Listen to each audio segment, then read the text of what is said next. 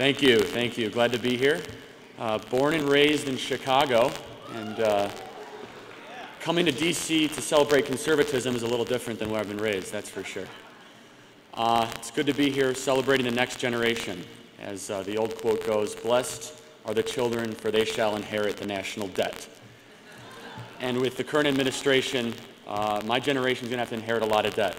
And it's good to see patriots from all across the country assemble strategize, connect, and network so that we can take back the Senate and the White House in the future so that we can make sure our children can prosper in the future.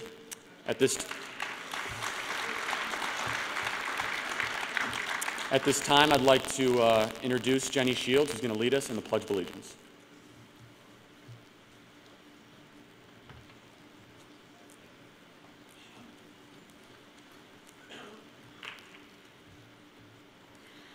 I pledge allegiance to the flag of the United States of America and to the republic for which it stands, one nation, under God, indivisible, with liberty and justice for all.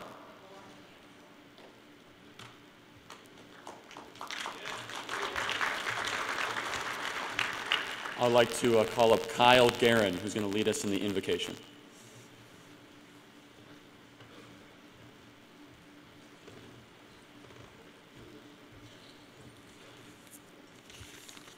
Please join me in prayer?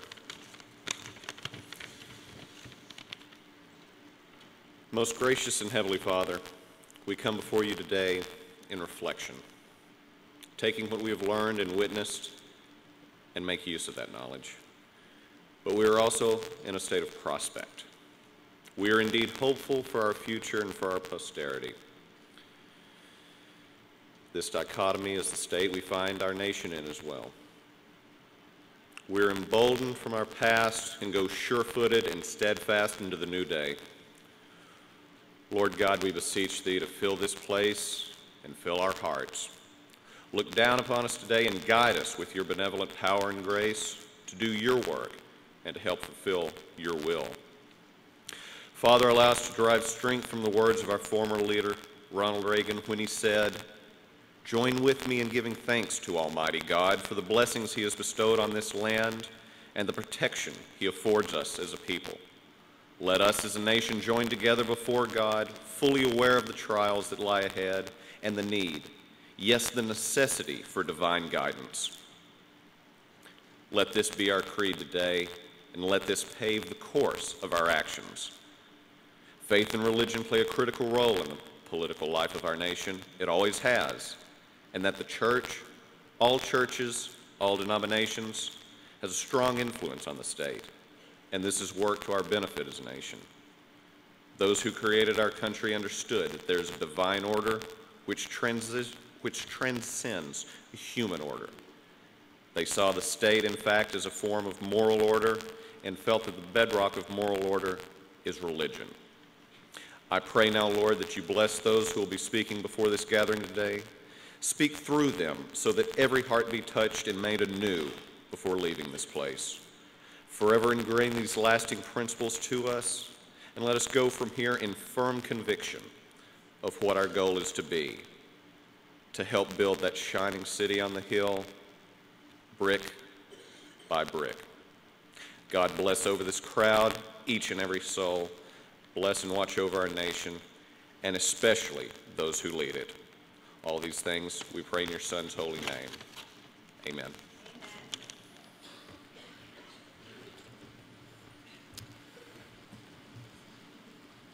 So, coming from Chicago, I have to do a shameless plug here. Uh, if you haven't voted in the straw poll, you haven't been from Chicago because we have a saying in Cook County vote early, vote often.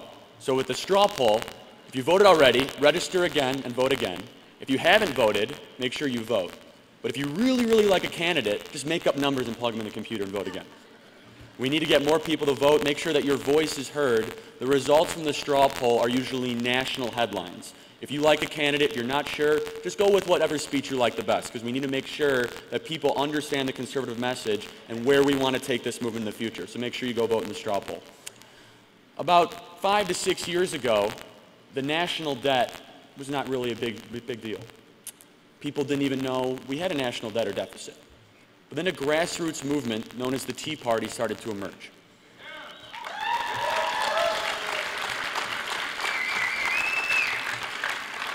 And what made the Tea Party so effective was not only it came from the grassroots, but it had three core values fiscal responsibility, constitutionally limited government, and free markets.